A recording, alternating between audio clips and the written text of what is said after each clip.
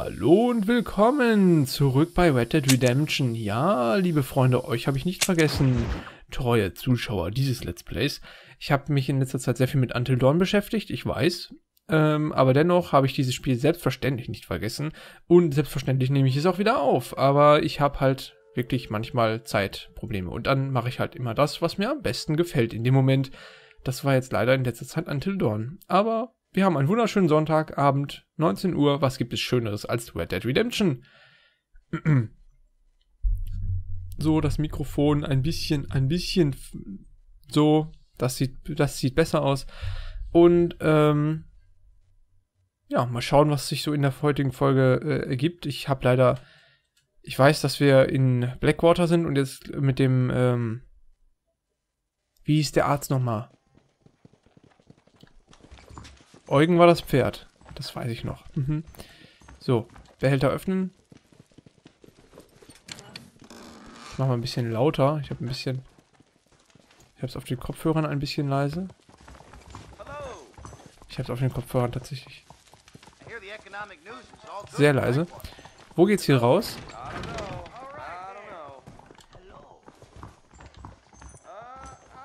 Ach, dahin ist die Treppe. Ich muss mich auch wieder an 30 FPS gewöhnen, das ist ja unfassbar. Das fällt gerade erst auf. Aber das Spiel gibt es ja sowieso nur für Konsolen. Das heißt, bei dem Spiel kann man jetzt nicht sagen, öh, PC besser, äh, zock doch auf dem PC, äh, ne?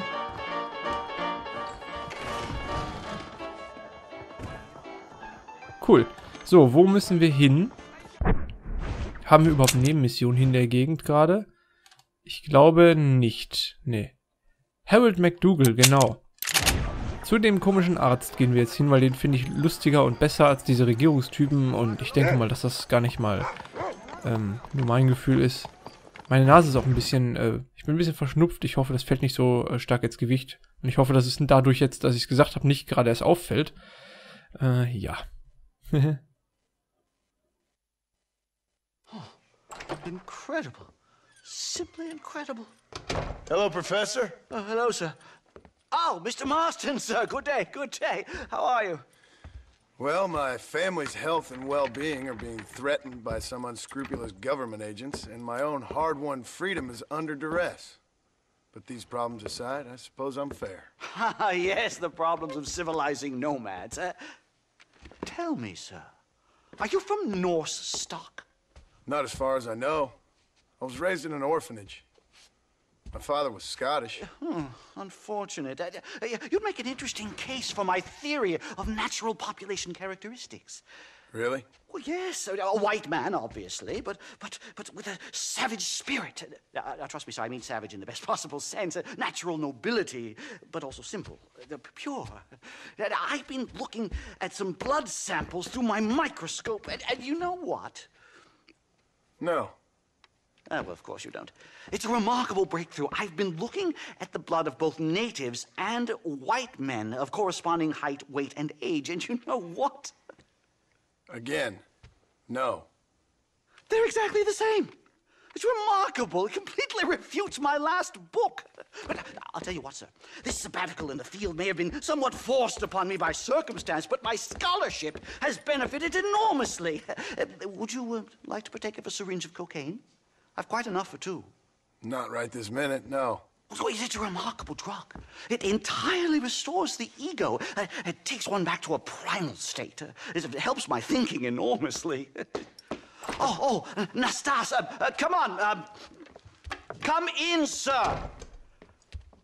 Would you like to take off your slippers? Or, or, or skin a rabbit? I know we cannot see the stars. But still, my heart is pure, and we meet as equals. These savages must be spoken to simply in metaphors. no, sir. I grew up on a reservation and attended school. Oh, lovely. but I can show you what you want to see. I know where the group of bandits you seek are hiding. Both of you. Vanderlyn has attracted a following of young men on the reservation.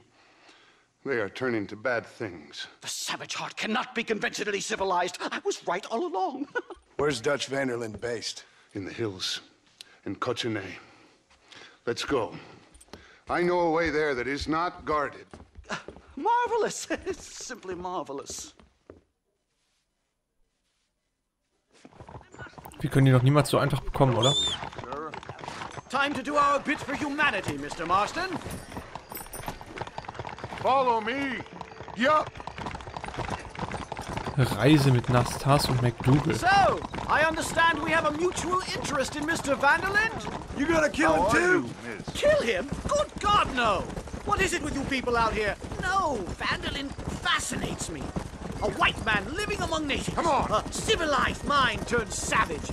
It's reverse integration or regressive acculturation. Uh, I don't know. I, I haven't found a name I like yet. He was never that civilized. Ah, but of course. Edgar Ross mentioned your unique history with the man.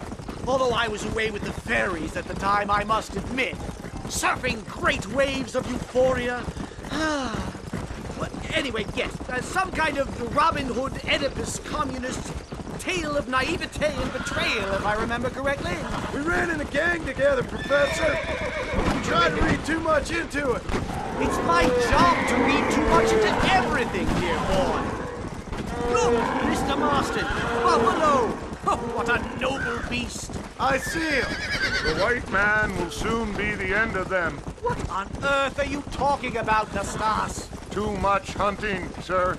Your whole society is based around hunting. But we hunt to eat, not for sport. Soon there will be no buffalo left. Who teaches you this nonsense?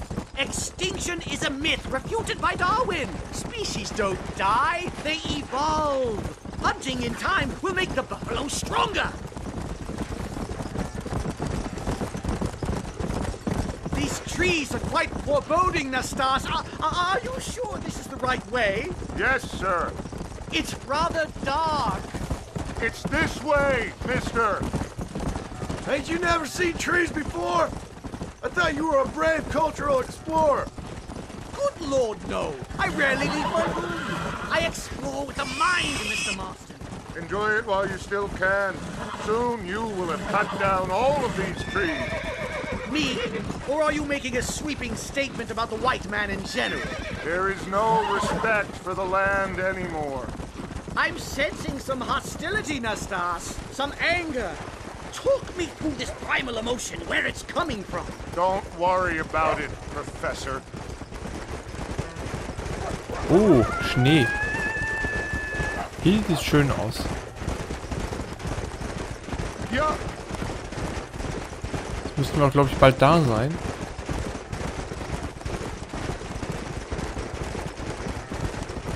Nur wundert mich, dass der Weg hier nicht bewacht werden soll. Der ist eigentlich ziemlich einsichtig, finde ich. Gut, ich meine, viele Bäume und Hügel, aber there's the trotzdem. cliffs. We'll leave the horses here and climb the rest of the way.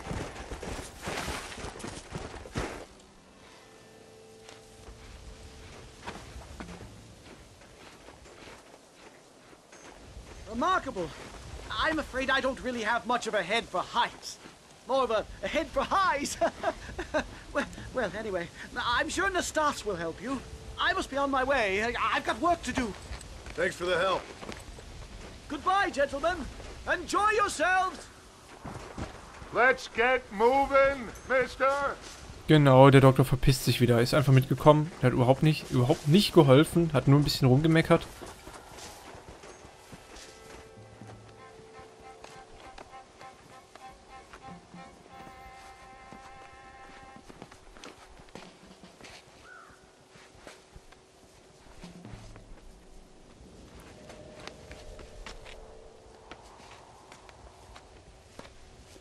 Du musst schon starke Arme haben, um einen Typen an einem Arm hochzuziehen.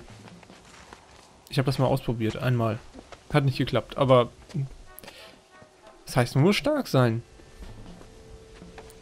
So, und was ist das? Sieht aus wie entweder ein Tor oder so, ein, oder so eine Wassersperre.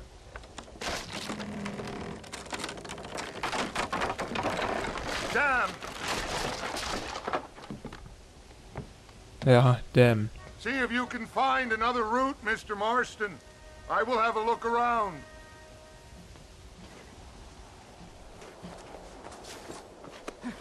Nicht, dass das nicht gekennzeichnet wäre, aber hm, wo könnte ich denn lang gehen? Oh, oh, hier. Aber die Gegend ist eigentlich viel zu schön hier, um die nicht mal ein bisschen zu erkunden. Ähm, wir werden auch, das kann ich jetzt schon mal an der Stelle sagen, später nochmal herkommen. Also später noch öfter hier rumreiten, meine ich. Und äh, dementsprechend,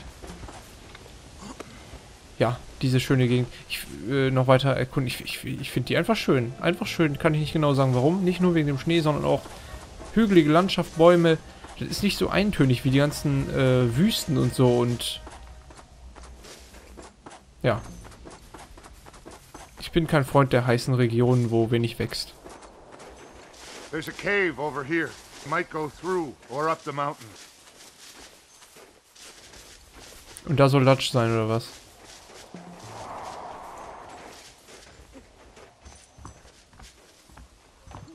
Was befindet sich hier? Oh, guck mal, eine Kiste. Oh, ulala. Sechsmal Dynamit. Guck mal, immerhin.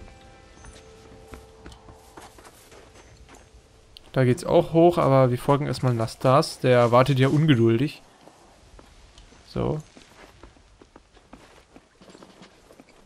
Wenn er schon so nett ist, uns den Weg zu zeigen hier, dann...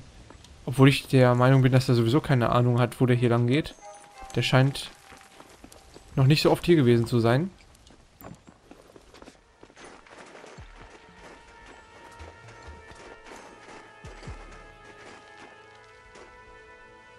This way!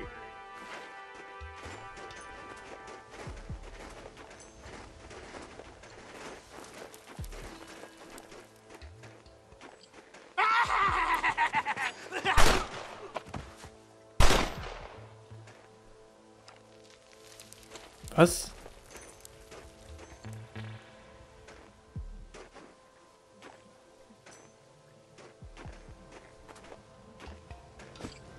Schon wieder wurde er verletzt. Was ist das für ein Irrer? Oh. Oh. Wer wartet hier draußen auf uns?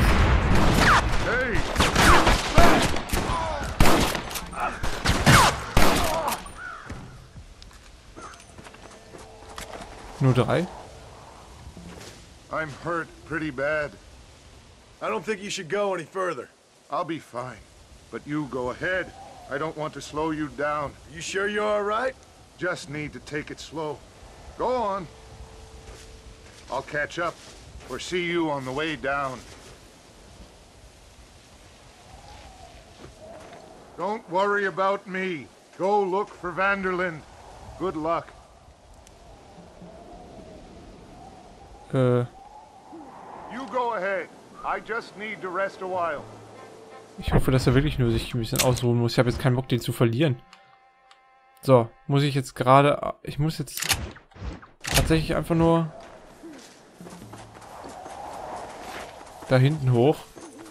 Zum Glück äh, weiß John ja auch sofort, wo man... Was ist das für ein Viech? Hat er nicht gerade irgendwas gesagt von wegen, die Jagd macht äh, das Ökosystem kaputt? Ich will nur kurz wissen, was das ist. Mhm. Äh, dafür darf man das umbringen. Ah, Waschbären. Ach, wie süß. Ja gut, dann brauche ich jetzt keine mehr umbringen. Jetzt weiß ich ja, was das ist. So bestimmt man Tiere. Umbringen und dann äh, Haut abziehen, Fell abziehen und mal schauen. Dann, dann weiß man, was das ist. So. Ich höre schon Wölfe.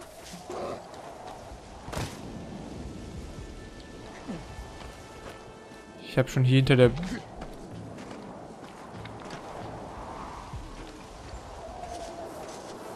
Ach. Ein Bär. Meinst du, der greift mich an? Oh. Oh.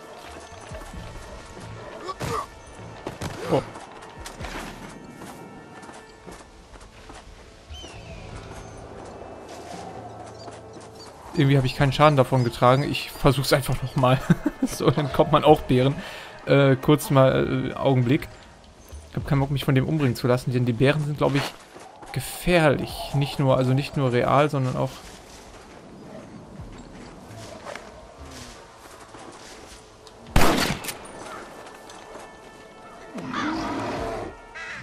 So, lauf mal ein bisschen. Nein.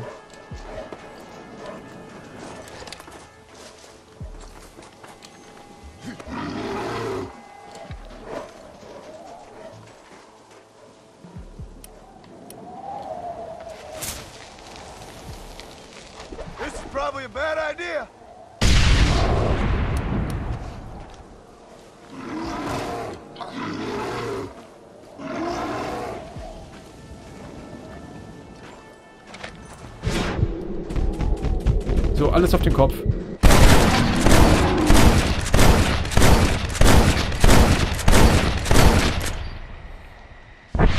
Kopfschüsse sind meistens sehr, sehr, sehr effektiv, auch bei Tieren.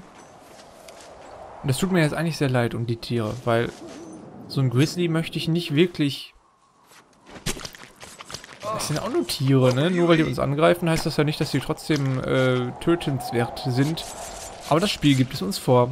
Ich habe ich, das ist meine Ausflucht. Ich musste das tun. Grizzly. So. Haben wir hier noch irgendwo was rumliegen oder so? Irgendwie, manchmal liegt ja noch in. Oh, Grizzly Klaue. Da habe ich sogar mehr als nur das Fell von. Perfekt. Ja, dann hat sich das gelohnt, den umzulegen. Hm. So.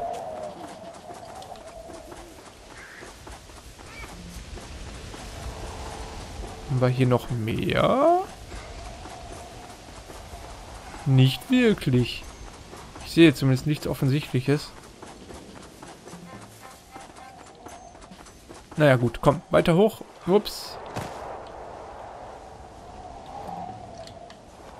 Und dann da hoch. Der klettert so langsam, aber der ist halt auch ein Cowboy, ne? Der hat Reiten gelernt, aber nicht unbedingt äh, Extremkletter. So, hier hoch. Und dann, da vorne sehe ich schon das X, wo wir hin müssen. Und dann hier lang. Oh, und jetzt bitte möglichst nicht runterfallen. Ich sollte auch wohl nicht so schnell rennen, aber irgendwie habe ich das Bedürfnis. Oh.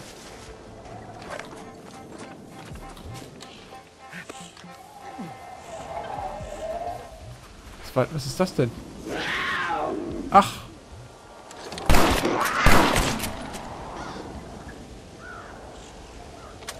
Ist das für ein Viech?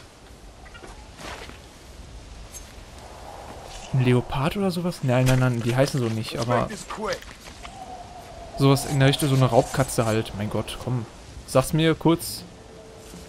Puma, ja, äh, fast richtig. Und ich, warte, hätte ich da auch hochgekonnt? Nee, hätte ich nicht. Das ist schon... Da unten sitzt Nastas. Der lebt auch noch, zum Glück. Ähm, hier, die Gleise hätte ich nicht hochgekonnt. Das ist schon mal gut. Kein, versch keine verschwendete Zeit. Lila Schneeglöckchen. Gut, kann man auch mal nehmen, ne? Was ist das? Partierer der Puma sich, glaube ich, schon gegönnt hier. Weniger Arbeit für uns. So, Dick, Dickhorn, Dickhornschafsfleisch. Dickhornschaf, aha. Dickhornschaf. Wo kam ich her? Warte mal.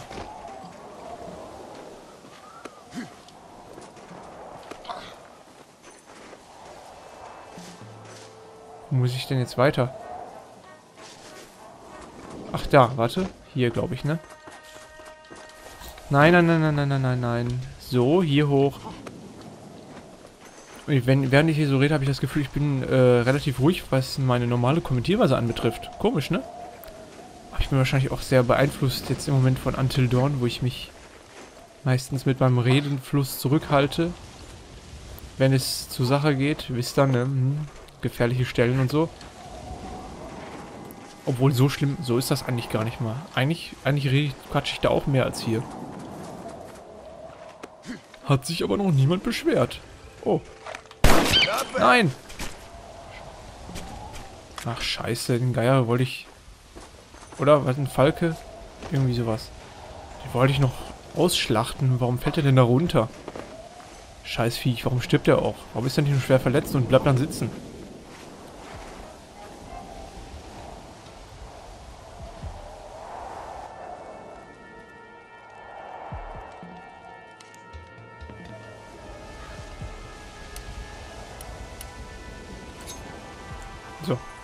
Im Schleichmodus.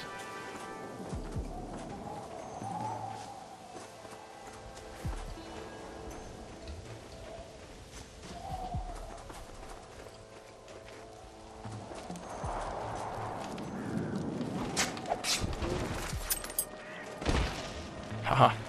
Ich habe nicht mal ein äh, Wurfmesser verwendet. Guck mal. So. Spähe Ko Cochinelle mit dem Fernglas aus und suche nach Beweisen für Dutchs Anwesenheit. Ach, da ist er, oder?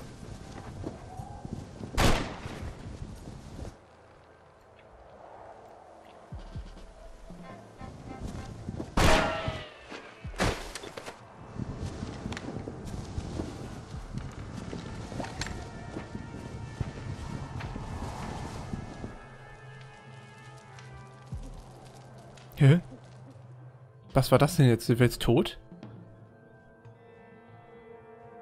Vermutlich nicht. Aber... Der hat ja genau ins Fernglas getroffen. Eigentlich hätte das ein Headshot sein müssen, oder? Mr. Marston? Mr. Marston! Mr. Marston! Here you go, Mr. Marston. Put that stuff away. You banged your head. Nastas and I carried you down.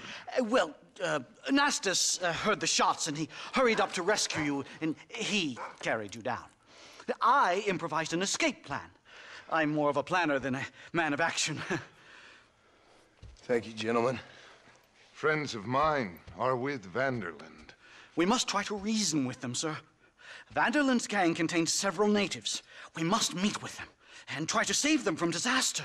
My people have already endured many disasters. Before, this was all our land. And now we have brought you civilization. Well, sure, it hasn't been easy, but it hasn't been easy for anyone, Nastas. Why, I knew a man in Yale whose father once shot 18 natives in one afternoon out in Wyoming. Oh, the man was quite, quite traumatized. He took to lying with choir boys. For a wise man, you are a very stupid man, mister. Gentlemen, I'm gonna leave you to figure out right from wrong. You are simple minded, sir. Thus, I do not blame you for not understanding reason. Then again, Wie können die überhaupt jetzt noch zusammenarbeiten? Das müsste doch schon so oft angeeckt, angeeckt sein, die Beziehung zwischen den beiden. Sehr, sehr komisch. Äh, wir haben 3 Uhr nachts. Ähm, natürlich ist das die beste Zeit, um eine neue Mission zu beginnen. Ich sah gerade schon, dass der McDougal offenbar jetzt von der einen auf die andere Minute schlafen gegangen ist. Hm, probieren wir es halt morgen wieder. Und genauso könnt ihr eure Bewertung abgeben. Also nicht morgen, sondern jetzt am besten. Und morgen dann auch wieder. Und am besten auch nicht probieren, sondern einfach machen. Ähm, aber das ist ja alles, das sind nur Lappalien, mit denen ich mich hier, ähm, die ich hier ausgesprochen habe. Ihr wisst ja alle, was wichtig ist. Und genauso wichtig ist ein Video nach diesem. Das kommt bestimmt. Bis dahin sage ich auf Wiederhören.